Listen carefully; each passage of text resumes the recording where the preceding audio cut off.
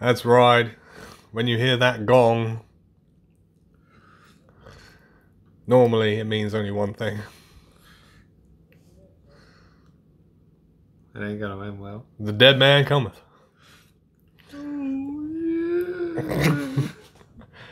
Now, uh, this is a special episode celebrating 30 years of The Undertaker. AKA Mark Calaway. Are we allowed to say that now? Well, he's said it enough times, so why not? Uh, So, it all started November 22nd, 1990.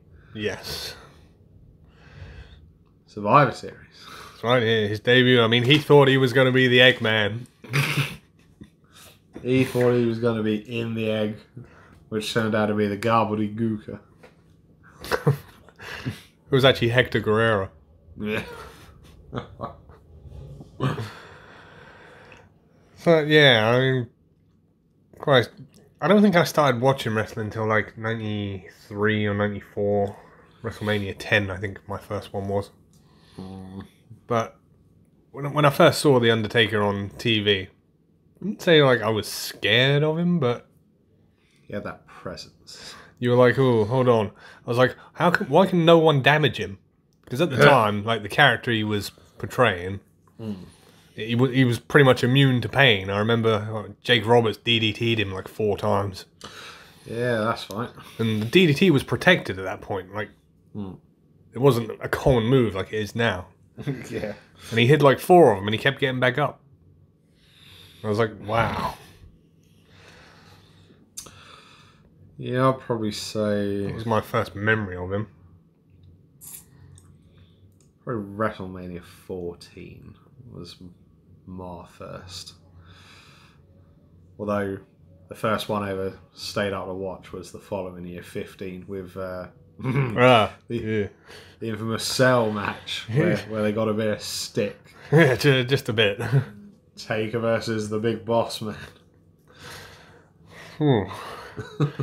yeah, that was a match that doesn't get talked of much these days. I mean, when you look at all his victories in the streak, they don't really mention that match all that much. Ooh. Bit like how they don't really talk about the Giant Gonzalez match Oh, God. Uh, he actually spoke about him. Was it in that? Oh, one of his documentaries recently. He spoke of John Gonzalez because he said like he was going to work with him in WCW, and then like he followed him to WWE. yeah. No, it's like one thing he's always been good at was he's always been quite good at reinventing himself. Oh yeah. Yeah, I mean, sort of. You've had many different incarnations of the Undertaker himself, because, well, um, I think it was like when Paul Bearer was first introduced, he was sort of like literally like an Undertaker. Yeah. yeah, I mean, Christ, they did this thing where he was in a funeral parlor. Like he had his own chat show. Well, I say chat show, he didn't really say much. Back then it was just sort of like, yeah, you will rest in peace, and Paul Bearer did most of the talking. Yeah.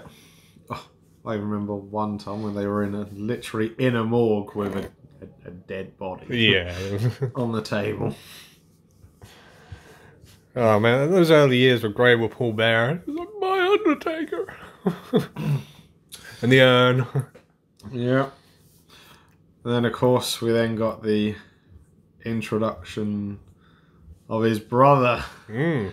Which really took the character to a whole new level. Yeah, I mean, up until that point, you, you didn't really know much about the Undertaker. No. But then when Paul Bearer did the whole, oh, he's coming, your brother's alive, Yeah. suddenly you're like, you, you saw a different side of the Undertaker. Yeah. Yeah, definitely. And yeah, that WrestleMania match with Kane, good grief. Mm. Was Kane the first one to kick out of the tombstone? I think he might have been. Um, yeah, quite possible. Yeah, yeah, because obviously uh, Kane first appeared at Badd Blood. Mm. Oh, yeah, he ripped the door off. Yeah, Shawn Michaels Hell in a Cell match, and then yeah, then it was the following Mania, wasn't it? Mm. Their, their match. Yeah. Yeah. Yeah, Badd Blood was 97 and they fought at 14, which was in 98. hmm Yeah, they've had some matches over the years. Oh, just a few. That's one of those rivalries that just it goes on, and then they team up for a bit, and then they fight each other again. Yeah. sort of speaks volumes about. It. I mean, Kane always talks quite highly of the Undertaker, Yeah. like he helped him in his career. Hmm. It's like their WrestleMania 14 match, brilliant. Yeah. Well, they tombstone him what three times? I think it was in the end. Yeah, I think it was. Yeah. And then the month after, they did the Inferno match. Yeah. Yeah, there's been a few of them matches over the years. Most of them involving them too. yeah, it's true. Kane does love setting people on fire. Yeah, 'cause was, there a first ever match where like Kane got like pushed into it and his arm Yeah, caught on fire? That that was the first one. Yeah. I thought as much, but I thought I'd verify that with yourself. Because that was the one where where they escaped the flames because Undertaker dived over the top rope.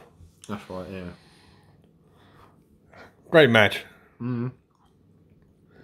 No, I mean then, like to push things forward a bit, Undertaker took some time off for an injury, Yep. and we got the introduction of the American Badass. Ooh, yeah. Yeah, although it's surprising, I look back and realise how long that, how short that character was actually around for. Yeah, I think it only lasted about three years, four years. Yeah, because he, well, he, he sort of moved on from the American Badass after about a year or so, and you had like the Dead Man Inc. Oh yeah, and Biker Undertaker. Big Evil, Yeah. which JR called him Booger Red. Heel Undertaker. But at the time, it worked because I mean, in the Attitude Era, a lot of gimmicks were they got real. It was Yeah. less characters, more like proper real life things. Mm, yeah. Yeah. So I think American Badass worked quite well. Yeah. He had yeah, some, definitely. he had some great matches around that time. Yeah, because it was Judgment Day, weren't it? He came back for Triple H versus The Rock. Yeah, they played that really well because at the time there was all these promo videos saying like he's coming, Yeah. and you, and you didn't know who it was. No. That was very well played out. And then like he came back, he chokeslammed all of the corporation, Yeah. accidentally cost Rock the title.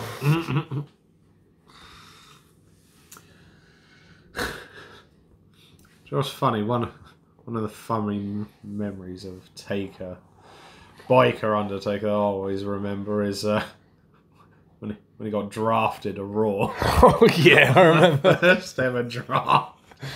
Oh, he was Oh. pissed. Because they had the camera zoom in on him and he, he stood up and.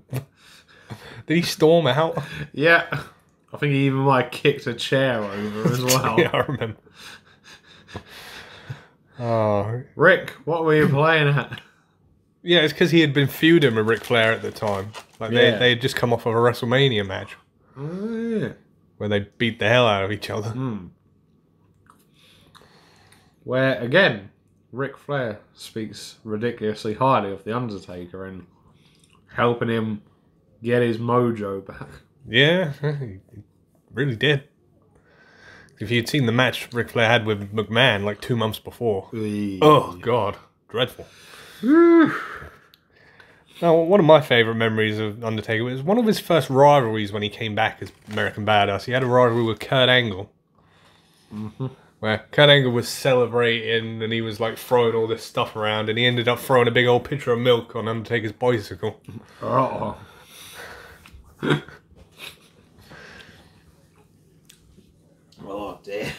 And they had a rivalry which went up till Fully Loaded 2000.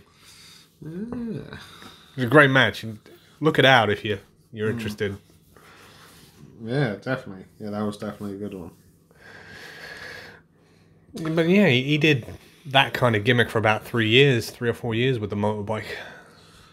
Yeah, and uh, conveniently, it was around that time where probably one of my favourite Undertaker rivalries came along.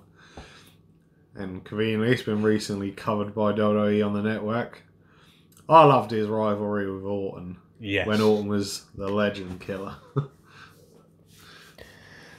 Yeah, so the year before, like, they did this storyline where Kane buried American Badass Undertaker, yeah. and he came back as the dead man. Yeah. It was like, and the return was done really well because you had the Rumble, you had his gong going off, but he wasn't there, and Kane got eliminated because he was like, "I buried you, you're dead." And then like you didn't know what Undertaker was gonna come back at WrestleMania 20, yeah. and then like the gongs go off and you hear the Paul Bearer thing. Oh yeah! Oh no. CMJR! I got it! The Paul Bearer! So, so yeah, and and he came back, and it was sort of like it was a mixture of Undertaker and American Badass because he still had the more American Badass gear, yeah. but he was back in like dead man character. Yes. Yeah. Then we had like the rivalry with Orton. Yeah. Um, I'm trying to remember when that sort of officially kicked off to start off with. It was 2005. Yeah. Um, it was. Because I think they had their first, like, pay per view match at SummerSlam? No, WrestleMania was the first one. Oh, okay. Oh, shit. Yeah. Yeah, bloody hell, that was a build enough. Because that was the first one where like the streak properly was mentioned. Yeah. Because up until that point, it was just yeah, we know he had a few wins, but they weren't making a big deal of it. Yeah, yeah, that's it. But Orton was on fire at that time. He was back to being legend killer. Yeah. Because he, he had a couple of months with being a good guy, which he did not like. Yeah. That's putting it politely. I'm being PG. and yeah, him and Undertaker, what? They had a rivalry for about seven months, I think it was. Hmm. Maybe longer. Yeah. If you haven't watched it, go to the network, watch The Untold. Yeah, because um, cause I think I think it ended Armageddon. I think. wasn't Yeah. The Hell in a Cell match, Armageddon. Yeah. Yes, yeah. Yeah, because they had um Yeah, and was it was it SummerSlam time they brought in they brought in Daddy Orton. Well, he interfered in the WrestleMania match. Oh yeah, yeah, yeah, because he had the cast. had the on his arm. yeah. which he's been wearing for about 20 years. Is that injury ever going to heal? so, yeah, and then like they did the whole SummerSlam thing where Orton got the win back. Yeah. Then, oh, what was the next one? No Mercy. I think they did the casket match. Oh yeah, yeah, the handicap casket match. Where, like, only recently we found out Orton came close to setting himself on fire. yeah.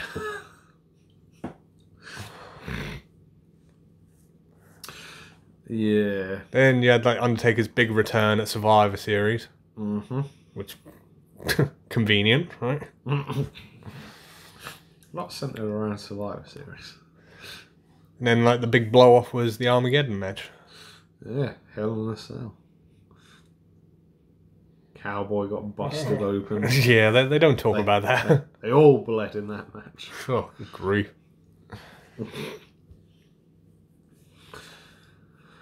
Yeah, yeah, just great rivalry. He's had a few of them. One of my favourite rivalries that he was in, Triple H. The most recent one. Not all of them, because I mean, Oh, they were okay, all a yeah. continuation of each other. Yeah, yeah. That's fair one. Because originally they fought at WrestleMania 17, which was a great match. Yeah. And then, like, years later, they came back and Triple H was like, yeah, I want another crack at it. Yeah. They told this great, I don't know, five year story. Right, it started off with Ric Flair. Yeah.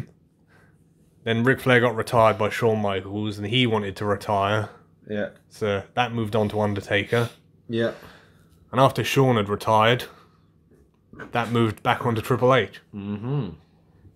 which culminated in the end of an era match at Oh, WrestleMania 28. yeah, bloody hell. I'm gonna say all of the matches with Triple H were just brilliant. There were a few moments where you genuinely thought, "Oh my god, streak is gone." yeah, and at that time, WrestleMania entrances were starting to get really big, and we were just like, "What entrance uh, is the Undertaker gonna have this year?" Yeah. Because he came became known for the spectacle.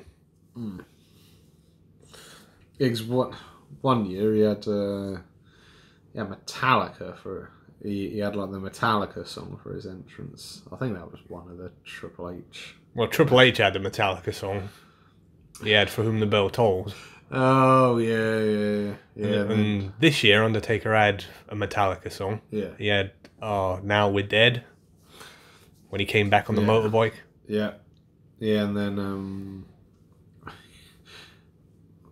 think it was one of the Undertaker matches. He had the he had the Terminator entrance. That was Triple H again. yeah, yeah, yeah, yeah. No, well, No, And that was that- Triple H and Sting from 31. Mm. I swear he had one like movie themed entrance with with Undertaker, possibly. Uh, I don't know. Oh, I'm just getting confused here. I think so. Oh boy. Yeah, no, no, that was a great rivalry and a rare insight of good storytelling. Yeah, it can happen.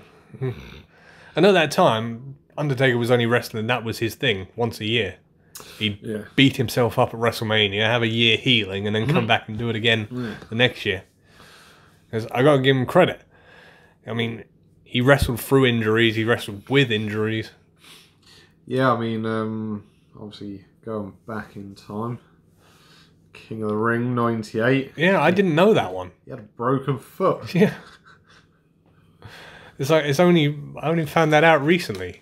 And then when you watch that match and he jumps down from the cell and he lands on his feet and you can see him like going, Oh Yeah.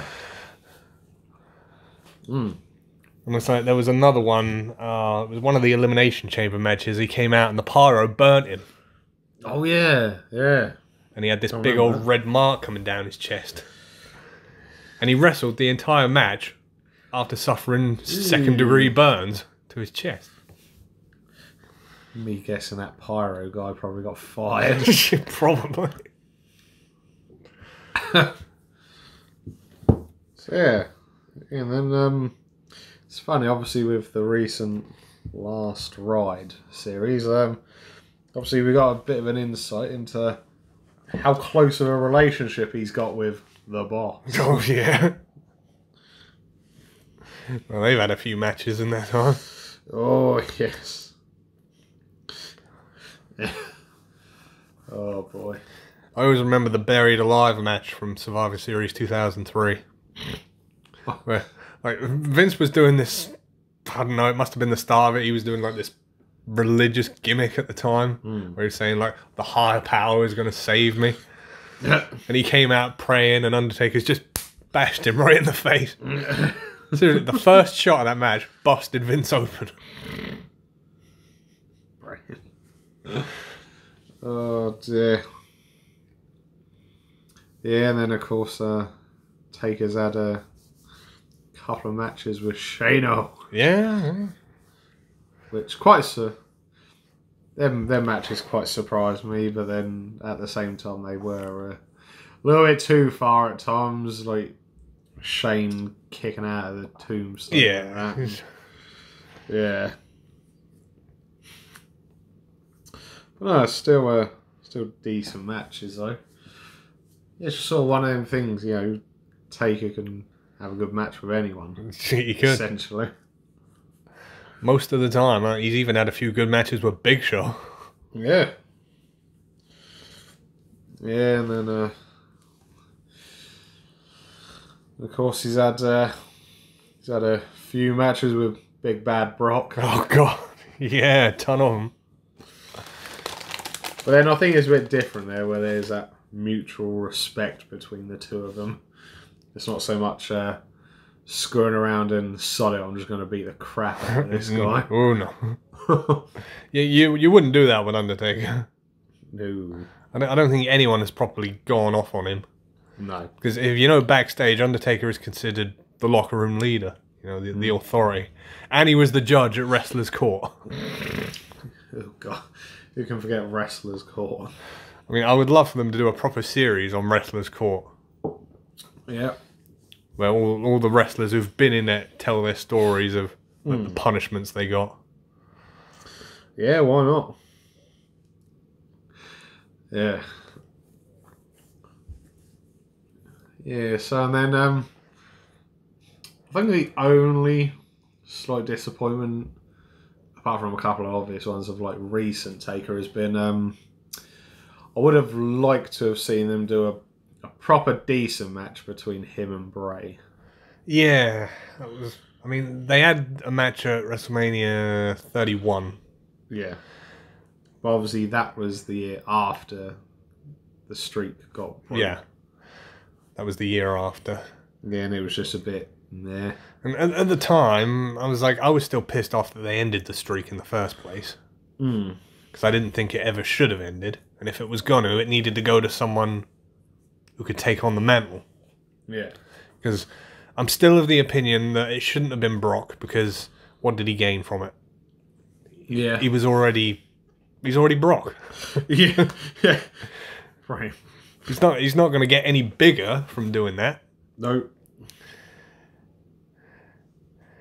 And yeah, the Bray Wyatt match. I'm not sure if you know, but Bray Wyatt actually injured himself the day of WrestleMania. Ah, So Bray was actually injured himself that WrestleMania match, right. and like they had to work around it. Hmm. And it was quite remarkable that they got anything out of that match at all. Mm. Yeah. Because it wasn't a bad match per se, but it was just like a nothing match. Yeah. He only took one tombstone, and yeah, that was it. Mm. Yeah. Oh, one rivalry that I think we should give an honourable mention to is a rivalry with the with the Doctor uh, Thuganomics. Ah, yeah, yeah. that was a pretty decent rivalry as well. Yeah, I mean, at the time, that was 2003. Yeah. Cena was doing his Doctor Thuganomics gimmick.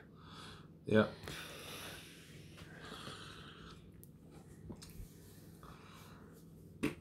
Yeah.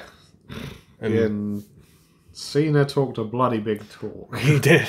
in that rivalry. I gotta say, at, at that point, they accomplished their goal because I wanted Cena to get his ass kicked in that match. Yeah. Yeah. and he did. Oh yes. Yeah, because you had that. You had that really good promo just before the pay per view where Cena was like at that graveyard Yeah. and that. Yeah, and he pisses on the gravestone. Yeah. And oh, I'm not sure, they, they lit this. Oh, what do they call that symbol? The, the hexagram or something? You know, the, Yeah. the satanic symbol. Oh, the, the pent- Pentagram. That's it. pentagram. Yeah. And he like he lit it on fire, and there was Cena standing in the middle of it. Yeah. And I was like, wow, this is actually done quite well. Yeah. And the match was decent.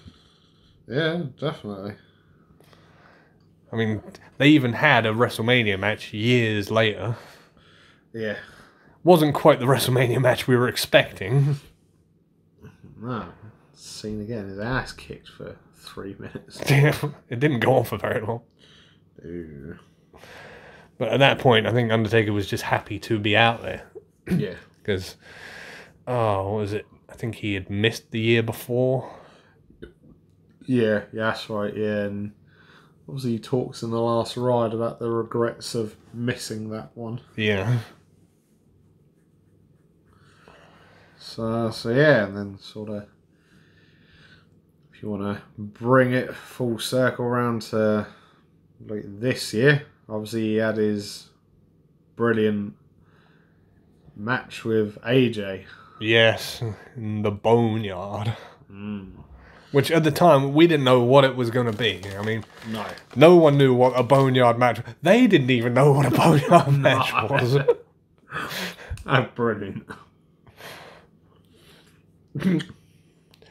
But I let to think to myself, what would that match have been had you know the whole COVID pandemic not kicked off? Would they have had a proper match in front of people? Yeah. Yeah. Yeah. I mean, I imagine that if well, Taker said it himself. AJ was the one guy he wanted to work with. Mm. He was the one. But I mean, I think that would have been a five star match even without all the gimmicks and whatnot. Oh yeah, definitely. Simply because AJ, like Shawn, can work with anyone Oh yeah. and get a good match out of anyone. Oh yes. Yeah. Yeah, but yeah, no, I, I I thoroughly enjoyed the match at Mania. Thought it was really good. It was really good. AJ trying to be sneaky with uh, some help from a couple of good brothers. yeah, they, oh yeah, they appeared out the barn yeah. with all, all the druids. Yeah. Oh, yeah, yeah, I forgot about that part. Yeah, yeah, that was good with all the druids and trying to attack attack the Undertaker. and he just beats up all of them. Yeah, well, that was a brilliant match. most definitely. My my only probably regret. I mean, I know we didn't get the Sting match, but that didn't really bother me all that much Hmm. because I know a lot of people wanted the Undertaker versus Sting, Yeah. but I think at the point it was gonna happen, it wouldn't have been as good as what people were expecting. No.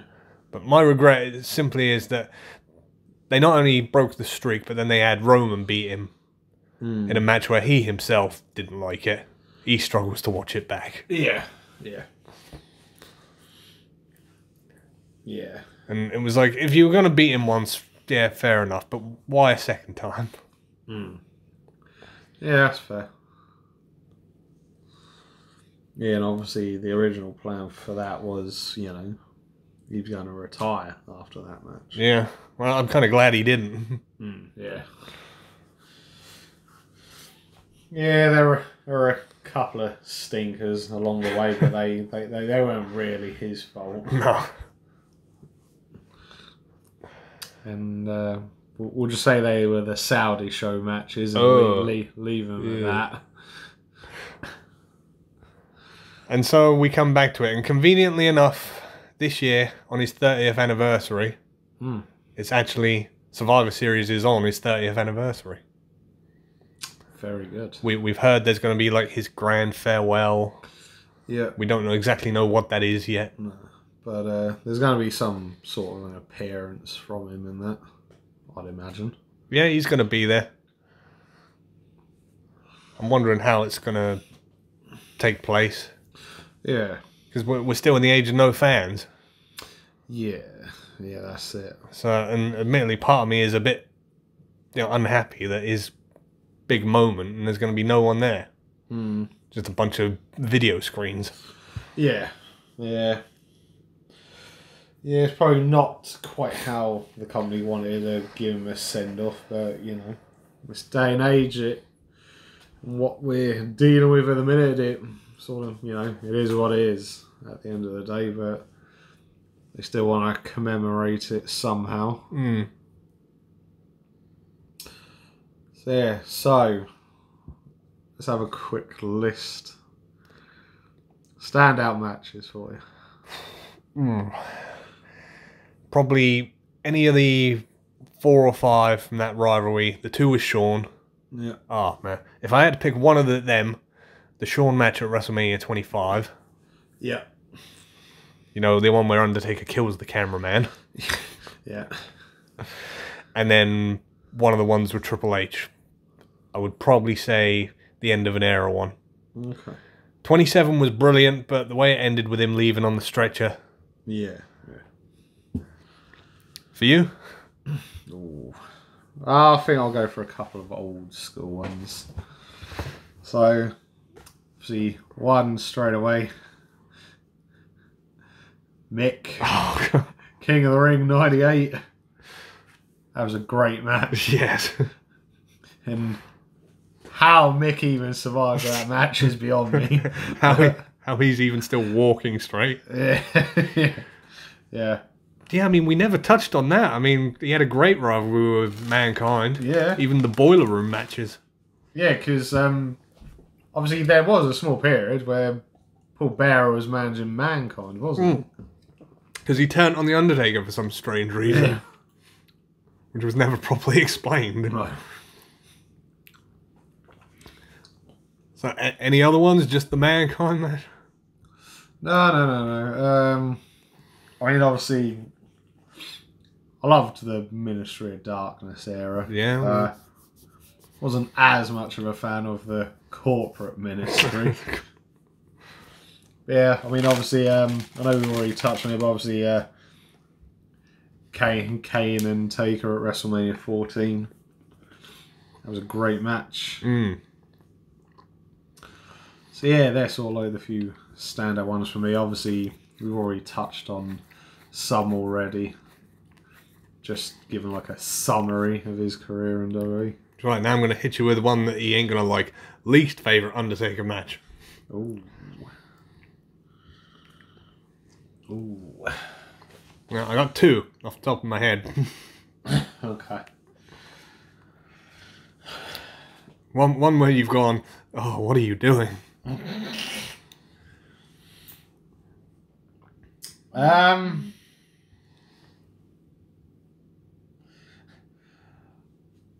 I mean, obviously, one of the obvious stick out ones is um, him versus Goldberg. Saudi show. Yeah. Botchamania. Yeah. And, um, yeah, I don't know, I'd maybe chuck in one of the early Mania matches. Uh, Yeah, I mean, I, I mean, they weren't.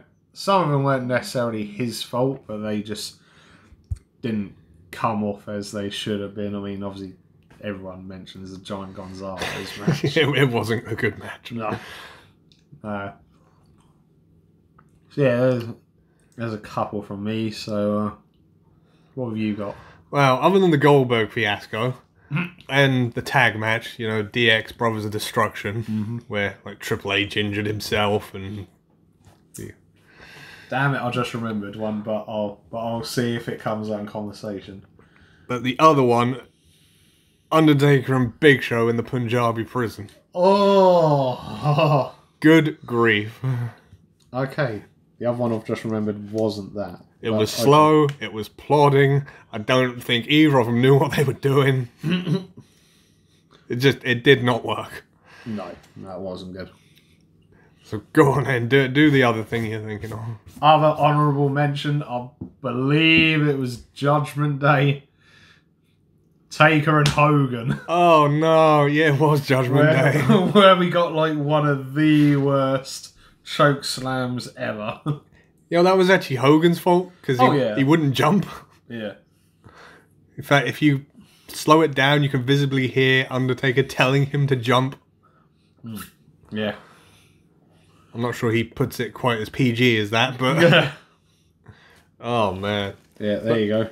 At that point, though, Hogan should not have been champion at all. No, no. Because you think they did Triple H's big old road to redemption, and he lost it to Hogan like three weeks later. Hmm. That's right. You know- You know, it was actually Hogan he beat for his first WWF title, Oh yeah. Which I think was Survivor Series the year after, which was Survivor hmm. Series '91. Yeah. And he actually beat Hogan for his what, fifth WWE title. I think the Judgment Day one was. Yeah. Yeah, I think I think that sounds about right. And I think that is probably truly the legacy of the man. It's like he's not held the world title on that many occasions. But when they have, they've been meaningful Yeah. and impactful. It's like he's always done something with them. In fact, thinking about it, he's not really won that many titles at all. No, He's never Intercontinental. He was never US. won the tag title Yeah, a few couple of times. He won a Royal Rumble. Yeah. Um, was he ever in a King of the Ring tournament? That's a good. That's a good question. I don't remember him ever being in one. No. I'll have to look that up. Um, uh, But again, he never needed it. no. I'm very certain didn't he hold the hardcore title once? Yes, he beat Rob Van Dam for it. Vengeance 2001. yeah. But th- that is the story of the character, though. It's like he was a character that never really needed the title. No, no. Definitely not. And I'm curious to see what they do with him going forward. Because he himself said that, right, he's probably retired now, Yeah. but never say never. Yeah. For me personally, I'd like him to have one more match with Fiend, Mm, Yeah. but that would be it. If, if he had to do one more, that Yeah. for me would be the last one. Yeah. You know, that's fair. And then you think we're still going to see him. He's still going to make appearances going forward. Yeah. He'll probably still come out and choke slam a few people. Definitely. And yeah, and then when Hall of Fame comes around, he's probably going to have his own wing.